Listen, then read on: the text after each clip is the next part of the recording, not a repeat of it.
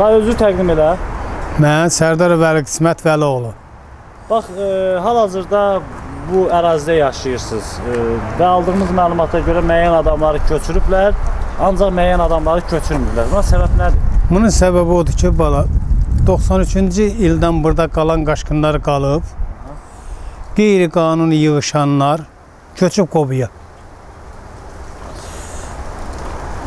Deməli- necə də, yəni qeyri 2018-in qaçqınları deyək də. yeni, yeni gələn. Yeni-yeni qaçqınlar ki, onlar köçüb ora. Burada köhnələrə baxmırlar. Bizdəki 93-cü ildən indiyətən bir şey soruşum. O deyirsiniz yeni qaçqınlar. Onlar necə köçürüblər bura? Nə? onlar bilirsən nə, biri Bərdədən gəlib, biri Qubadan gəlib, biri Qusardan gəlib, gəlib yığışıb bura. Müvəqqəti. nətər oldu ki, bunlar həmin müddətdə, tez bir müddətdə yığışdırdılar bura? Bəli, bura heylədir. Bura heylədir. Ona görə ki, burada bir adam gəlib ki, yığışıb, 5 adam da ona baxıb gəlib yığışıb böyrünə. Kiriyə yığışıb, kirayalara ev veriblər. Mənim özüm şəxsən 93-dən buradayam. Məni köçürür. Mən köçürür, köçürür. Mən ev istəmirəm. Aha. Prezidentimdən də narazı deyiləm. Qəşəng də evlər tikib. Mən 93-dən burada özüm teyimşəm, özüm məskunlaşmışam. Bax, bax bu evlər mənimdir, bax. hadi o. Aha. Çok güzel. Hə. 93-dən 4 uşaq burada böyütmüşəm, 4 oğlan uşaq əskəriyə yollamışam. Gəncədə Naxçıvanda döyüş usuluşdu eləyib, biri Gəncədə eləyib.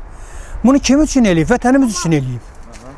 İndi mən də deyirəm ki, mənim 93-dən 26-cı ildir burdayam. Mən bu həyatdayam 26-cı ildən. Mən də deyirəm, mənim kompensasiyamı versin evimin. Mən çıxım gedim işimi görüm. Mən qobudan ev istəmirəm. Yəni e, pul istəyirsiniz. Bəli, pulumuzu konkret kan- pulumuzu istəyirik. Mən bilsən nə dərdi? Orada tikilən evlər bina evləridir. Ona görə köçmək istəmirsiniz. Yox, binada mən yaşaya bilmərəm qardaş. Ha, o bina evidir də. Bina evidir. Biz yaşamaq istəmirik. Mən də bax toyuqdan cücədən saxlayıram. Arvadım pensiya almır, özüm almıram. Mən qardaş dolanışığım yoxdur. Mənim dolanışım o toyuqdan cücədən. Yəni Heyvanla. deyirsiniz ki, gedib binada mən nə iş görəcəm? Hə, nə iş görəyim? İş yoxdur. Pensiya da almıram. Getdim binaya. Binada mənə kim gətirib çörək verəcək? Bax bunu demək lazım. Pensiya almayandan sonra nə yeyəsən orada? Düzgünü belədir qardaş. Düzdür, düzdür. İşdə vermir. İşdə axıran vermir, bir şey eləmir. Getsən deyir 50-dən 50-ni keçmirsən qutardı. Get öyle yat evində. Bu, bu buradakı qaçqınları köçürüb bura nə etmək istəyirlər bu əraziyə? Bura özəl müəssisədir, alınıb bura. Buranın da heç bir yiyəsi, nə alan, nə zat heç biri gəlmir elə. Ancaq qaçqın qom gəlir, çıx ginan. Burada havayı yığışmayıblar qardaş. Hamı gəlib. Bax, bu bu polislərin binasıdır. Bax, bax polisin otağıdır. Bax bu. Polislər. Mühafizə. Mühafizə 10 dənə polis dayanırdı burada. Burada vardı qabaqda 38 qaçqın. İndi 178 qaçqın olub burada. Necə olub da bu qaçqınlar nətər oldu ki, birdən-birə gəldi buraya? Hörmətli Kanal 1 internet televiziyasının izləyiciləri və Azərbaycan xalqı. Bizim kanal artıq 2 aydır ki, maliyyəsiz şəkildə efini davam etdirir. Bu günə kimi demək olar ki, siyasi səhnədən uzaq olaraq yalnız Azərbaycan vətəndaşlarının problemini çəkərək ictimailəşdirmişik və bir neçə şəxsin də probleminin həllində müsbət rəlləyiş əldə etmişik. İndiyə kimi siyasətçilərin hər hansı bir dövlət orqanının bizlərə göndərdiyi təklifə hə deməmişik və yalnız uca Azərbaycan xalqının yanında olmuşuq və bu gündən sonra da sizlərin yanında olacağıq. Lakin haqqı pozulmuş Azərbaycan insanının yanına gedib onun problemini işıqlandıra bilmirik. Buna səbəb isə kanalın maliyyəsinin olmamasıdır ki, bu da artıq bizi çıxılmaz vəziyyətə salıb və hər gün də salmaqda davam edir. Sizlərdən xahiş edirik ki, iyanə olaraq bizim kanala yardım edin. Haqqı pozulmuş, hüquqları əlindən alınmış insanların yanında ola bilək. Çox təəssüf ki, ölkədə demək olar ki, dövlət kanallarının hamısı xalqın yanında deyil. İnternet televiziyaları proqramlarının 80% siyasi fəaliyyətlə məşğuldur və belə olan halda demək olar ki, yalnız xalqın içində olan, xalqla birbaşa təmasda olan Kanal 1 internet televiziyasının yaşamasına yardım edin. Yardımın böyük kiçiyi olmur. Əziz xalqımız, bizimlə olduğunuza görə hər birinizə təşəkkürümüzü bildiririk. İkinci qrup əli serebral iflit 1990-cı il təvəllüdlü. Bax, e, indi siz bax, bu yaşadığınız ərazidən sizi köçürürlər. E, və siz deyirsiniz ki, mən e, oradakı köçürülməyə narazıyam. Niyə narazısınız və səbəb nədir? Mənim narazılığım odur ki, ilk əvvəl deyim ki, mən nə dövlət başçımızdan, nə onun xanımından narazı deyiləm. Mənim narazı olduğum şəxslər Zəngilan rayonu nümayəndəliyində, Zəngilan rayonunun e, Nizam Mösümov icra Zəngilan rayonu icra hakimiyyətindən Nümayəndə. nümayəndə. Nizam Mövsümov mənə çox narazılıqlar yaratdı.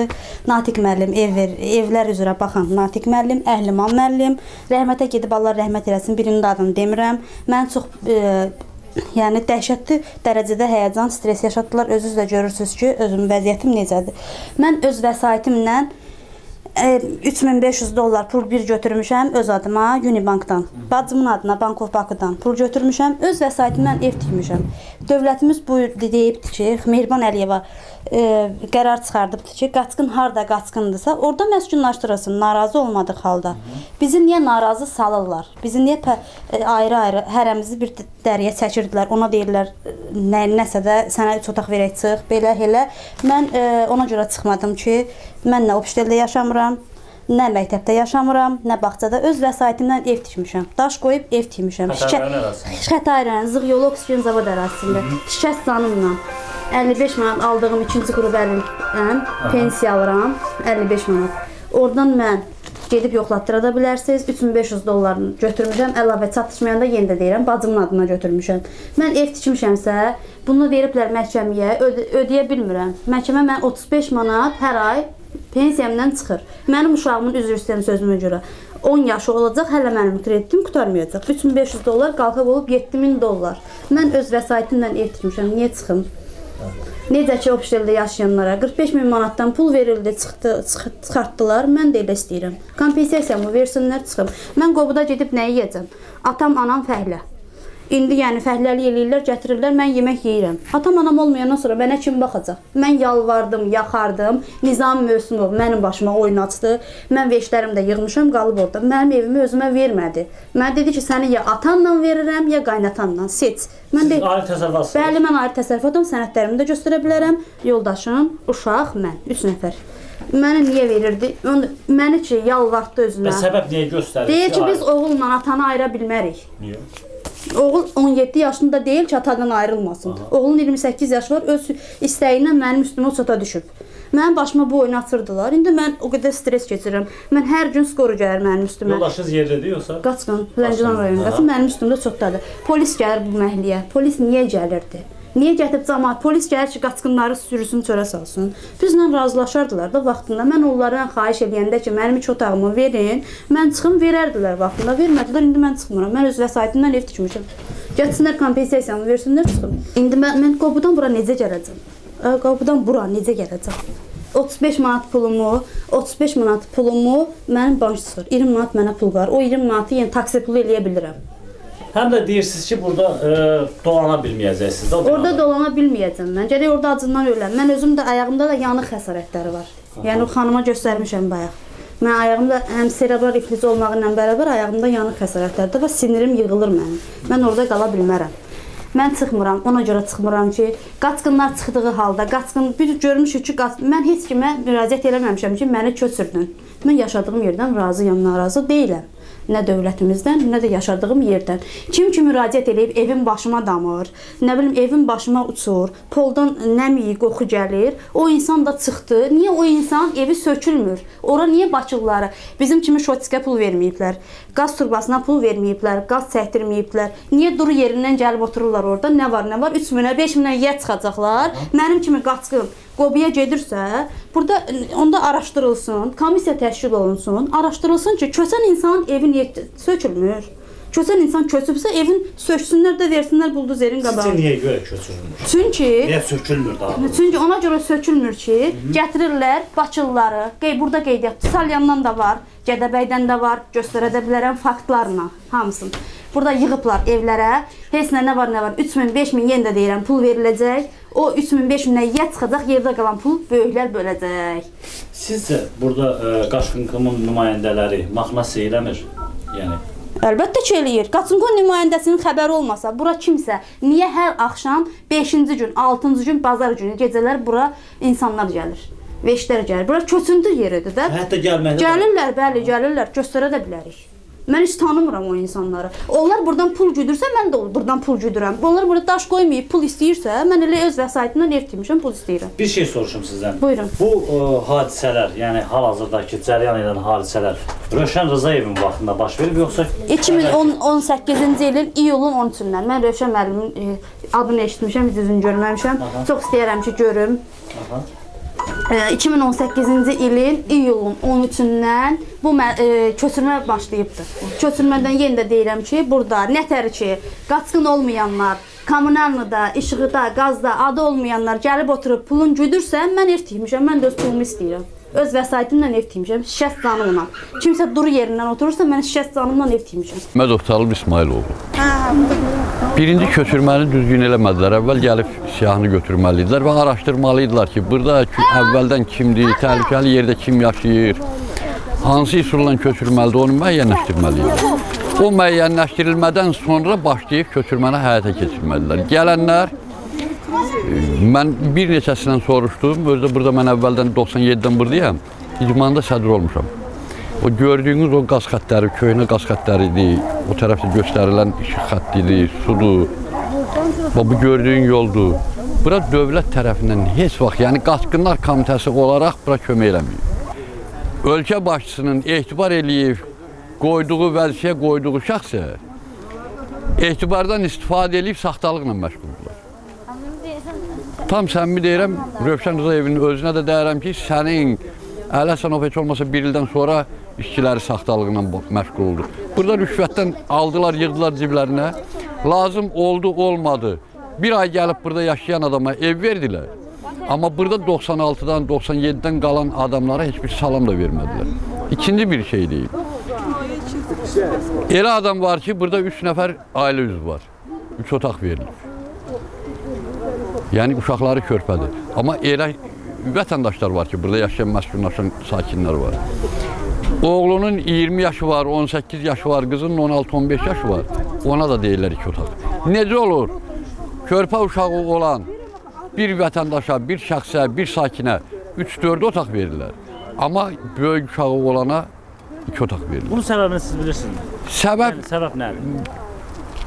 Sovetdən qalma bir qara dəftər deyilən bir şey vardı da, qara yol. İndi bizdə qara yol deyil, qara cəhənnəmdir. 2018-də qaçqın olmur. Bu günlərdə onların özlərinin razılığı ilə onlardan razılıq almasalar heç kim onu eləyə bilməz. Köçürülən evlərə müəyyənlərinə, özlərinə yaxın olan adamlara evlərinə gətirib adamlar yığırdılar. Çıxardım. Maxnasiya. Sırf yəni Maxnasiya deməzdim. Buna qanunun kobud şəkildə ayaqlanması, tapdanması, pozulması deyirlər. Maxnasiya tamam başqa şey. Maxnasiya o MMC-lərdə olur, firmalarda olur. Əgər dövlət qurumu, dövlət qurumunun nümayəndələri bu saxtakarlıq eləyirsə, buna deyirlər ölkə rəhbərinə xəyanət. Tutduğu vəzifəyə xəyanət. Mən burada heç birinin adını bilmədim, amma elə belə eşitdim ki, Natiq var, Rövşən var, Rövşən də səhv eləmirəmsə Laçınlıdır. Elə bu oyunları quranlar bunların özləridir. O vaxt da var idi. Yenə deyirəm, Ələsənovun vaxtında da vardı. Onun da adamlarından rüşvət alırdılar da belə yox. Onlar cüzi bir 500 manat alırdı, nəsə bir yerləşdirirdi. Burada küllü miqdarda pul yığıldı. yəni Əli Həsənovun atasına rəhmət oxutdururdu. Atalar misal var, deyir bir şah olub. Çox əzabkeş olub. Belə əzazil olub, yəni qəddar. Oğluna deyir ki, mənə rəhmət oxudu, deyib baş üstə. O gedəndən sonra oğlu elə bir oyun oynayıbdı ki, hamı deyir, "Və, bunun atasına rəhmət. İndi ölkə rəhbərinin bayaq dediyim kimi etibar eləyib vəzifəyə qoyduğu məmurlar onu prezidentin etibarından istifadə eləyib oğurluq da eləyir, saxtalıq da eləyir, rüşvət də alır, insanları da incidir. Buradakı adamların hüquqlarını mən müdafiə edirəm. Mən özüm öz hüququmu müdafiə edə bilmirəm. Mən bilirəm. Mən gözləyirəm o müəyyən məqam var, onu gözləyirəm. Qaçqınların problemləri ilə məşğul olan Qaçqınlar Komitəsinin sədrinə, onun müavininə, onun işçilərinə heç olmasa sərt şəkildə bir xəbərdarlıq eləsin. İndi də gətirib başqa bir variant işlədirlər. 20 burada yerli adam olub. 60, 62, 62, 65-dir. Qaçqın ailəsi olmuş. Nətər 120 nəfərə çıxdı? Məmməd Hüseyn müəllim bura təzə gəldi, deyirdi mən təzəyəm. Əgər təzə idisə, işi bilmirdisə, onda deyə bilərdi. Xahiş edirəm, köçürməni dayandırın, mən gedim orada araşdırmamı aparım və yaxud da aydınlıq gətirək bu işə. Təqdim edin. Mənim Əliyev Elmin Ədalət oğlu, Zəngilan rayon məcbur köçkünüyəm. Deməli, dox- e, 2012-ci ildən bu ərazidə qeydiyyatdan yaşayıram. Sadəcə bu Qaşqınkom o lap psifdə bu qeydiyyat alınanda, qardaş mən burada məsəl üçün e, Məmməd Hüseyn müəllim gəlmişdi. Onun verdiyi sənəd də var ki, həqiqətən mən burada yaşayıram, burada qeydiyyatdayam, qonşularını təsdiq eləyib. Nəyəcə bu Qaşqınkom məni siyahıya şey eləmədi ki, bəs səni sonra alacaq qeydiyyata. Amma səbəb göstərmə. Səbəb göstərdi ki, get bəs xətanı Qaşqınkomla sənə atalı gətir ki, bəs sən burada həqiqətən yaşayırsan, ondan sonra sən qeydiyyatda olaq. Mən yoldaşım iki uşağım burada qeydiyyatda. Mən də o sənəti aldım, apardım, verdim. Hə, su, səs sonra çıxmadı. İndi axırın səhər bura gəlib gedirlər də, bu Qaşqınkom gəlir, əsas yerdə oturan xətanın Qaşqınkomu. Bəs ona sual verdim, yaxşı ki, bizim bu aqibət nətər olur? Heç bizə məsələn nə ev təklif olunur, nə bir şey təklif olunur. Bizim aqibət nətər olur? Dedilər ki, hələm gözlə, sizin işə təzədən baxılacaq. Amma halbuki mənim əlimdə qanun, burada yaşadığım haqqında sənətim də var. YEK də təsdiqləyirsən, Qaşqınkom da təsdiqləyir. Amma bunların fikri nədir, bunların məqsədi nədir? Yəni mən bir şey başa düşə bilmədim. Hə, hə, hətta elə mən buna bağlı bir iki yerə də məsəl üçün öz şikayətimi bildirdim ki, bəs gedişat belədir. Elə onunla bağlı bir xəbər çıxmadı. Hə, yəni e, hal-hazırda sizin Hal-hazırda hələ mənim durumum hələ bilinmir. Yəni hələ mənə deyildi ki, hələ buradakı kimin adına ki evlər yazılıb. Onlar köçürəndən sonra sizin durumunuza baxılacaq. Amma səbəb nədir? Mən onu deyən yoxdur ki, mən ildir yaşayırsınız? 2012-ci ildən qardaş mən özüm tikmişəm, evimi də görüblər, öz şəxsi pulumuzla tikib yaşayırıq. Amma 93-cü ildən Xətai rayon qaçqınıyam. Bu zonadan yerləşirəm Xətai rayonunda. Bəs Əvvələ əvvəl Əvvəllər əvvəllər 7 nömrə poliklinika var, yataqxana, orada qeydiyyatdaydım. Ki, ailə qurandan sonra köçmüşəm bura, burada yaşayıram. 2012-də. Bu məsələn Xətai rayonunun Qaçqın komunda da mən qeydiyyatda varam. işıq, qaz, su hamısı yəni. Hamısı də, yəni məsələn məs Qaçqın komunun özünün verdiyi arayış var ki, həqiqətən Əliyev Elmin Ədalətoğlu ailəsi, yoldaşı, uşaqları oksigen zavodunun ərazisində yaşamağı mövcuddur. Əsədov Vasif Fərmanoğlu, Zəngilan rayonu. 25-i sa- saat 11-ə 5 dəqiqə qalmış Qaçın komundan mənə zəng gəldi. Nömrə telefonda var, axır 14-34-dür, bilmirəm. Ki, bəs siz Qobuda yerləşmisiniz? Dedim, xeyr. Dedi, ə, bildim, telefonu asdılar. E, sırağa keçən həftə üzr istəyirəm. Mən getdim Xətai rayon Qaşın komuna. Orada ki, bizə limit verirlər. Limit nə qədər? Dedi ki, sizin adınız Qobudadır. Mən də dedim ki, mən Qobuya getməmişəm, hal-hazırda burada yaşayıram və bu gün də getdim. Bu gün də getdim, həmin mənə sözü dedilər, dedilər sizə ev vermişik. Əvvəla Nazirlər Kabinetinin qərarı var.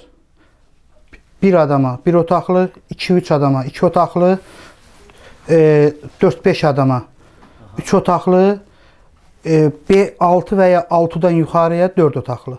Mənim mən bu gün öyrəndim, mənə dedilər ikinci bina, 25-ci mənzil sənindir. Öyrənmişəm, mənə bir otaqlı ev veriblər, mənim xəbərim olmadan. Neçə nəfərsiniz evdə? Ailədə 2 nəfərik. Dövlətin Nazirlər Kabinetinin qərarı var. Mən Əhliman müəllimə zəng elədim. Qaşınkomda vəzifəli şəxslərdən biridir, burada gəlmişdi. O dedi ki, elə şey ola bilməz. Mənim hələ şeydən xəbərim yoxdur. Nəysə, sonra dedi ki, mən maşın sürürəm, məndən danışma günə. Məmməd Hüseyn müəllimə zəng elədim. İndi çıxardıblar. Mən harda işləyir? Bizim Xətai Qaşınkomun sədri idi. Bəli, o dedi ki, Bəs belə olmalıdır, heyl olmalıdır. Mən bilmirəm, bir də mənə zəng eləmə, məndə yazı zapis də var, yazmışam. Bir də bu işdən yəni məni narahat eləmə. Mən burada qalıram, neçə illərdir burada yaşayıram. Ya səbəblər niyə getmək? Səbəb, səbəb odur ki, buradan çıxanların çoxu sexin altında yaşayırdı, vəziyyətləri pisliyi çıxıb. Dövlət başçımız demir ki, gedin cəmaatın imkanı normal yerdə yaşadığın çıxardın. Dövlət başçısı Mehriban xanım Allah canı salamat eləsin. Deyirlər ki, gedin qaçqının pis vəziyyətdə olanını çıxardın. Bunlar da gəlirlər ücdən tutma elə bil ki, Nemes biliniyik. Çıxın və salam. Dəfələrlə gəliblər, işığınızı kəsəcəyik, suyunuzu kəsəcəyik, qazınızı kəsəcəyik. Həm bizə hədə qorxu gəlirlər. Bir ay yarımdır gəlmirlər. İndi heç kimin xəbəri olmadan burada çox ailələrə. Hamısını elə ev veriblər. Ev az verdiklərinə görə getmək istəmirsiniz, yoxsa ümumi getmək istəmirsiniz? Əvvəla mən burada yaşayıram, üzr istəyirəm. Mənim yoldaşım işləyir, mən bir gün işləyirəm, 10 gün işləmirəm, 10 gün işləyəndə 2 ay işləmirəm. Fərq. Nə fəhilə, nə usta heç birisi bilinmir. Yoldaşım işləyir, yəni onun hesabına dolanırıq. Qobudan Əhmədliyə nə tərgib gələcək? Bu bir. İşlə təminat yoxdur. İkinci də ki, siftə gündən gəlsinlər, xahiş edirəm, komissiya yaratsınlar dövlət tərəfindən. Burada adam var, 2 ay gəlib yaşayıb, qaşqındır, amma fərqi yoxdur. Nə olsun ki, mənim haqqıma girir. Ona 3 otaqlı ev veriblər. Mənə deyir ki, sana 2 otaqlı, e, bir otaqlı düşür. Niyə? Əgər bu Nazirə Kabinetinin qərarı varsa hamı üçündür. Amma Qaşqon deyir ki, Nazirə Kabinetinin qoyduğu qanunu jurnalist televizorda səhv elan eləyib. Elə şey olar. Səhv elan edib. Bəli, şəxsən onu bizə mənim icra kimi formada tapmısınız siz Nazirə İnternet, internetdə var. İnternet, internetdə var. Mən televizordakını götürmüşəm. Qardaş dövlət televiziyası bunu verirsə, bu boyda yalan olmaz axı. Əgər bu Nazirə Komitetinin qərarı varsa, orada yenə deyirəm, ailə başında çəkilmir, adam başında söhbət gedir. Bir adama bir otaqlı, 2-3 adama 2 otaqlı, 4-5 adama 3 otaqlı, 6 və 6-dan yuxarı 4 otaqlı. Bu dövlətin qoyduğu qərardır. Niyə mənim haqqıma girib mənim otağımı kiməsə verir ya satırlar? Deməli burada bir neçə səbəb var getməmək. Bəli, xahiş edirəm. Xahiş edirəm komissiya yaratsınlar. Gəlsin burada cəmaatın dərdini öyrənsinlər. Onda hər şeyi açıq qoyaq, düzək ki, səbəb nədir, nədən yana getmirik. Xəstə qızımdır. Pillək bax, üzr istəyirəm. Keçən illəri e, e, mart ayının 14-də orada yıxılıb bax orada. Bax orada. İstəyirsə oranı çəkin. Bizə də göstər deməyib. Bax bax orada. Bax orada. Yenə üzr istəyirəm mən. Qarında 9 aylı uşaq tələf oldu. Bax onun səbəbindən Leyla Şıxlinskidə operasiya elədilər, özü də ölürdü. Gücüm Yes, qutardı. bina görsə vəbşi bu vəziyyət bilər də. yəni. Bəli, mən Mehriban xanımı o vaxtda yazmışam, vermə qəbizləri də göstərim. Uşağın adından yazmışıq. Buyurun özünüzdə bax orada açıq aydın. buyurun, buyurun. Bax bax bax. Burada yazıb ki, cavablı çatıb. Burada yazıb çatıb, amma Qaşınkomdan deyirlər ki, 2 ayda yola salmışıq, deyəsən piyada gəlir. Hələ də gəlib çıxmır. Əliyev Ədalət Yaşaroğlu 1968-ci ilin Füzuli şəhərində anadan olmuş. Qardaş, deməmiz Neçənizdən burada yaşayırsınız? 2002-dən. 2002-dən Ha. yaşayırsınız. Problem nədədir və e, Problem problem budur ki, öz vəsaitimizə pis yaxşı ev tikmişik. İndi biz də məcbur istəyirlər köçməyə. Ə- ə- Əvvəla biz 4 nəfərik, bizə 2 otaq, sağım solum 3 otaq alıb. 4 nəfərə bizə veriblər 2 otaq. 2 otaq indi yerini doldurmaq üçün indi kim xamdır, belə deyək də, aparırlar, şirinlikdirirlər. Bizə apolojin olan istəyir, bizə aid olanı istəyirik. mövcud eviniz neçə e, neçə otaqdır? E, o otaq uşaq sayınadır burada, ailə sayınadır. Sizin qaldığınız ev. 3 otaqdır paş düşdü ha. Ha, söhbət budur ki, bizi məcburi göndərmək istəyirlər. Biz də öz vəsaitimizə biz ə, sözün kəsəsi kompensasiya istəyirik. Bizə aid olan. Binaya köçmək istəmirsiniz? Xeyr, biz ə, ə, ömrü boyu həyat evində olmuşuq. Ə, İstər Qarabağda, istər burada həyatımız, bacamız olub. Biz mal-qara ilə məşğuluq. Bizə lazım ki, həyat olsun, biz də. Yaşayışı təmin. Yaşara, bəli, yaşayışını təmin edək. Ondan da əlavə, ondan da əlavə. Buradakı burdan kimlər ki köçüm evlər, həmin evlərə gətirib qeyri-adi adamlar soxurlar təzədən. Bu nə hansı əsasa uyğundur? Nəyə görə belə olmalıdır ki? Biz bilmirik, e, 80% adam köçsə, 60% gəlib təzədən yer, həmin yerə adam doldururlar. Ondan əlavə sökülən evləri sel, su, ilan qurbağa çıxır. Vəziyyət yəni bizə bir gün ağlamaqlarını istəyirik. Sadəcə olaraq bizim istəyimiz budur. Hamımız kompensasiya istəyirik. Biz də gedək özümüzə bir güzaran quraq.